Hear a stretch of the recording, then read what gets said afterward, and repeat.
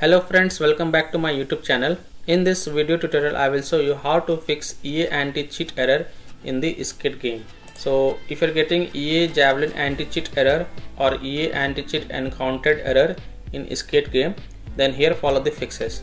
The first fix is to uninstall and reinstall EA anti-cheat. So here how to do it. Open File Explorer, go to this PC, open Program Files folder, open EA folder open AC folder. Now double click on this EA anti-cheat installer file. Click yes to allow. Now click on uninstall all. This will uninstall the EA anti-cheat for the all EA games but you don't have to worry about it. And once you see the uninstall success message, close this.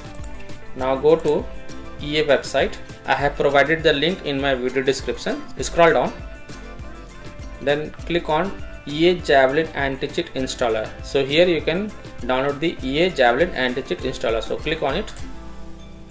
This will install the EA anti-cheat on your PC and once this EA anti-cheat installer exe file get downloaded then double click to open it. Click yes to allow. Now here you have to select the skate game. Scroll down. Yes here you can see the skate. So select it and then click on install option. Just wait for it.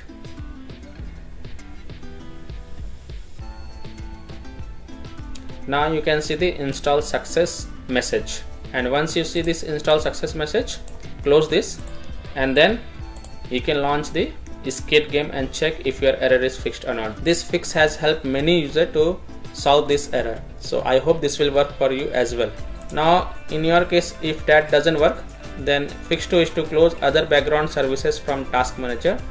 So open task manager and if you find any services such as logitechghub daemon tools rewasd ds4 windows riot vanguard corsair software faceit anti-cheat services running in the task manager then close all of them. Also close all the unnecessary third party app running in the background close all the overlay apps such as discord. Click on this arrow icon. If you find discord riot vanguard riot client or any other unnecessary service then close all of them from here. Close all the overclocking applications such as msi afterburner riva tuner turn off razer synapse razer lighting effects and msi dragon center. And then you can launch the game and check if your problem is solved or not so I hope by this way you can easily fix EA anti-cheat error, EA Javelin anti-cheat error or EA anti-cheat and content error in skate game. So that's all for this video. If this video helped you then please like and subscribe to my channel, share this video and hit the bell icon to get the latest updates. Thank you.